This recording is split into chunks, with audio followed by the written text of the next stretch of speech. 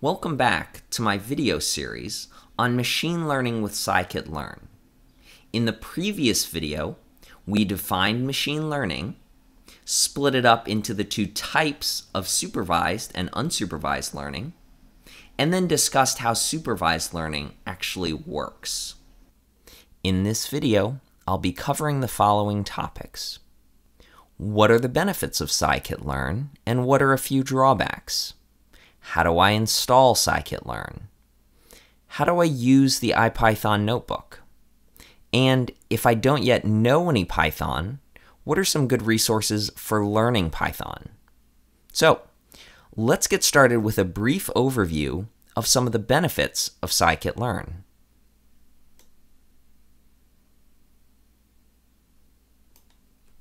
Here are the things that I like best about scikit-learn. It provides a consistent interface to lots of machine learning models, which makes it easy to learn how to use a new model. It provides you with many options for each model so that you can tune them for optimal performance, but it also chooses sensible defaults so that you can get started quickly. Its documentation is exceptional and helps you to understand the models as well as how to use them properly.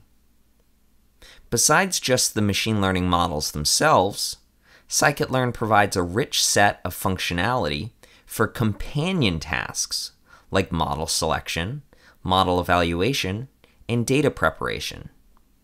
And finally, it's under active development and has an active community on Stack Overflow and especially its mailing list.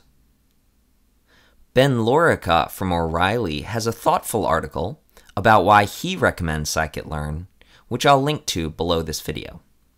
As well, I'll link to a very readable paper written by the authors of scikit-learn describing their API design philosophy.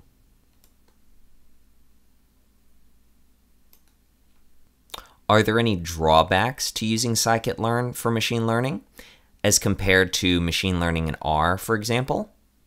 Personally, I find that getting started with machine learning is actually easier in R, though once you've mastered the basics, it's actually much easier to go deeper in machine learning with scikit-learn. I discuss this issue in more depth in a blog post linked below, and there are lots of thoughtful comments below the post. One other potential drawback, depending upon the goals of your project, is that scikit-learn tends to have a machine learning philosophy rather than a statistical learning philosophy. What's the difference between the two?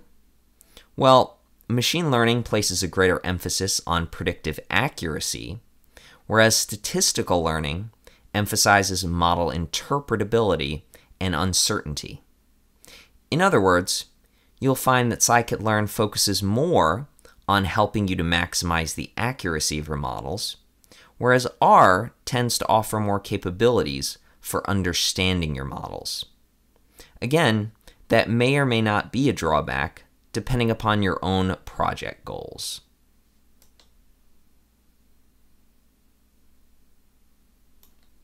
Anyway, let's move on to scikit-learn installation. The scikit-learn website has a thorough page covering installation across various operating systems. Note that it works with Python 2 or 3, and that it requires both NumPy and SciPy.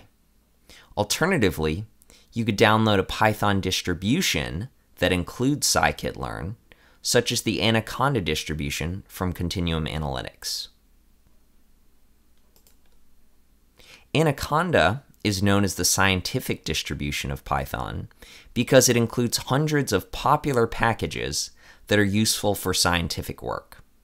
As well, it includes IPython and the IPython notebook, a convenient package manager called Conda, and an IDE or integrated development environment called Spyder. The Anaconda distribution of Python is what I personally use and recommend for my data science students. And throughout this series, I'll be using the IPython notebook to demonstrate scikit-learn. However, you're welcome to use any setup that works for you. Now, let's take a look at the IPython notebook. We're actually looking at an IPython notebook right now.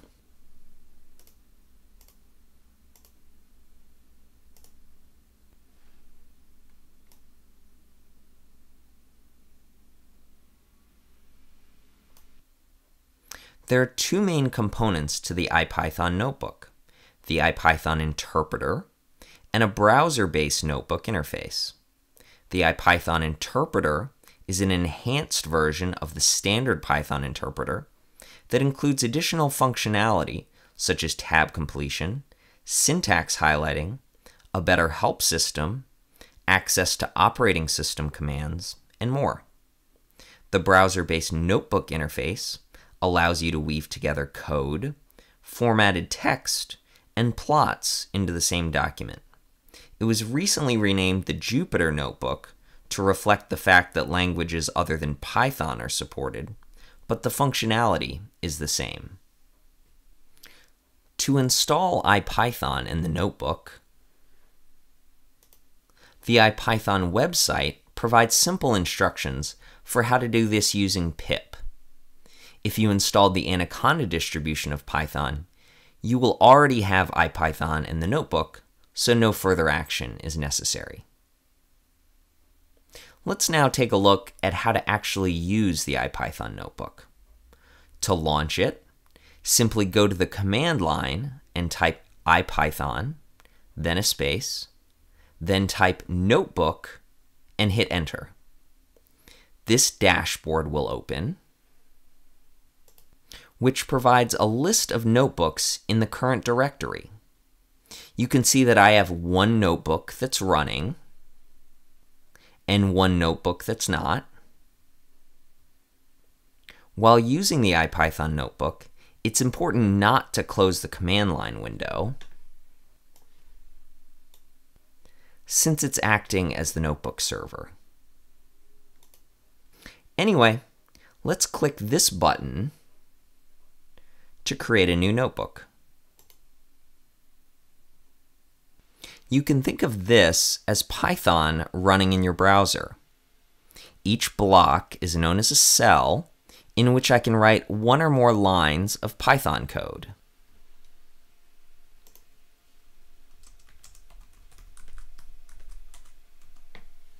I can then click Run or hit Control and Enter on my keyboard to actually execute the cell. If there's output, it's displayed below the cell. I'm now in command mode, indicated by the gray border around the cell, which allows me to create new cells above or below the current cell by hitting A for above or B for below on my keyboard.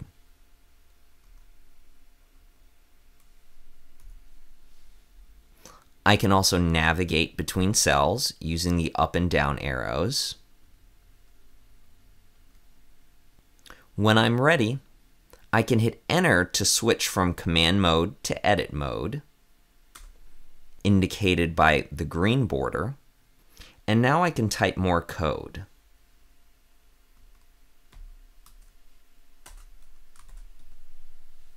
I can switch back to command mode at any time by hitting the escape key. I'll now navigate up to the first cell using the up arrow. I can hit the M key to switch the cell type from code to markdown, and then switch to edit mode by hitting enter. I can now input Markdown code, which is an easy to read, easy to write markup language. I'll demonstrate some Markdown code and then hit Control and Enter to render the cell.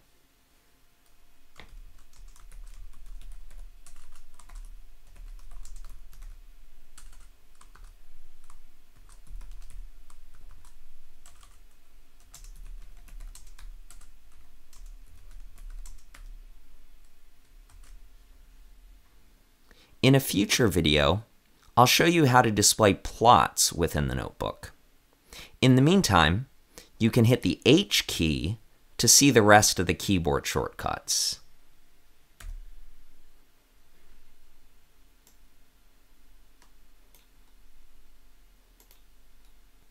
Once you're done with the notebook, you can click Save and Checkpoint to save the notebook, and then click Close and Halt to shut it down.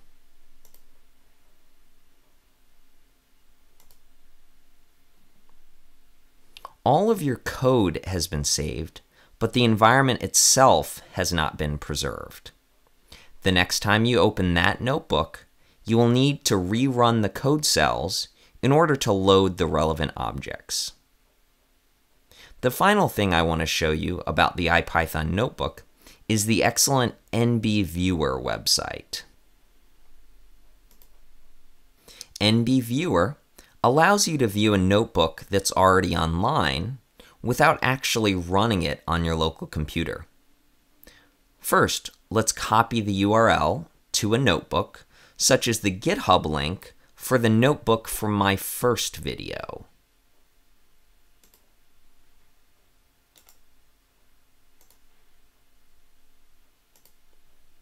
Then, paste the link and click Go.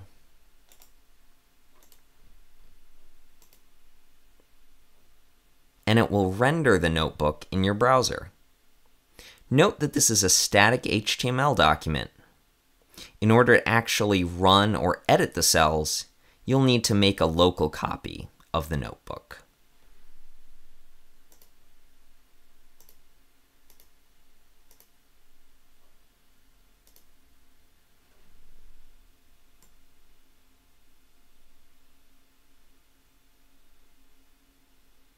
I've listed a few resources here that you might find to be helpful. If you want to learn more about IPython itself, I recommend the official documentation. For a longer introduction to the notebook, I recommend the official IPython notebook tutorials. To learn some basic Markdown, GitHub provides a nice introductory guide.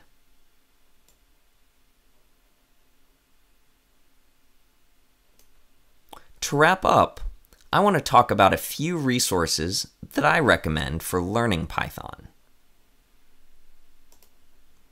The first is Codecademy's popular Python course, which teaches Python in the browser and includes tons of exercises.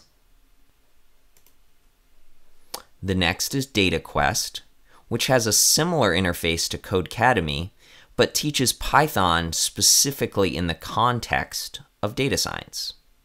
Note that some of their lessons require a paid account.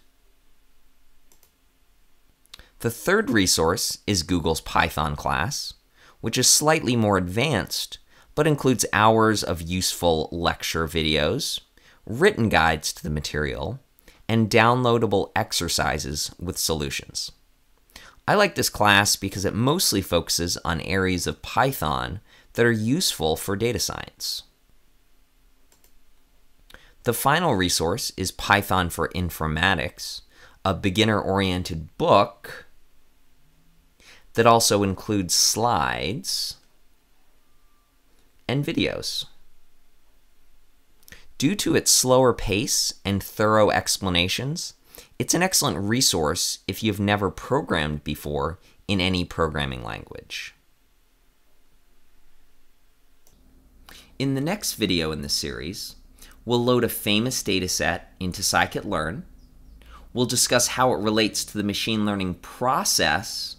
And then we'll talk about scikit-learn's four key requirements for working with data.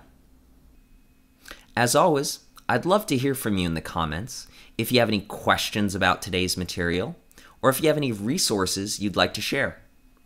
Please subscribe on YouTube if you'd like to keep up with the series. Thanks for watching and I'll see you next week.